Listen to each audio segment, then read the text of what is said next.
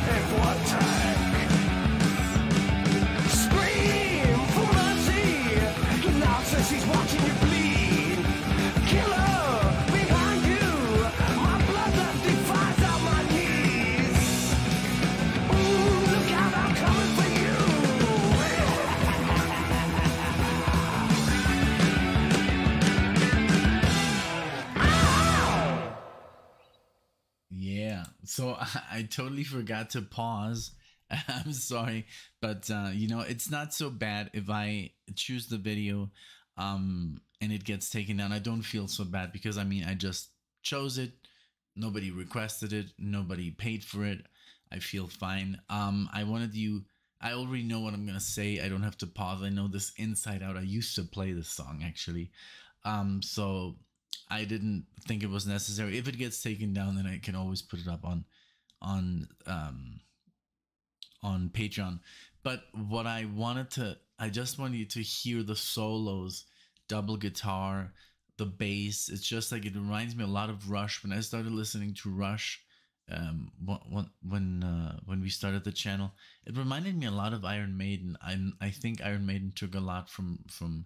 I, I think Steve Harris took a lot from Geddy Lee, and and um, and it has a certain progressiveness to the album. Maybe not as strong as Yes or Genesis or, or but maybe in the terms of Rush, um, maybe the, the time signatures are not that off and they're not that syncopated, but it still is there and it just sounds really cool and it sounds like heavy metal, you know, like from the 80s. And although Rush is more, I mean, it's metal, but it's more progressive rock, you know. But I mean, um, you know, I don't want to compare them too much because they are very different, but I think Iron Maiden is a fantastic band. If you're into bands like Rush, you know, um, and Judas Priest or, you know, Black Sabbath, um, even though there's a feud going on that I just knew, like found out about that between Ozzy Osbourne, uh, more like Ozzy Osbourne's wife and, and Bruce Dickinson just uh, very dramatic. I think it's very unnecessary, you know, it's all music. But uh, I hope you did enjoy, you know, listen to the track. Let me know what you think in the comment section below. I think this track deserved, you know, a little video. I'm gonna make it really short. Um, but yeah, let me know what you think if you enjoyed it. You know, let me know. And um, and uh, I was happy to be here for you guys. And you have a wonderful rest of your night or day or afternoon or wherever you are. Take care.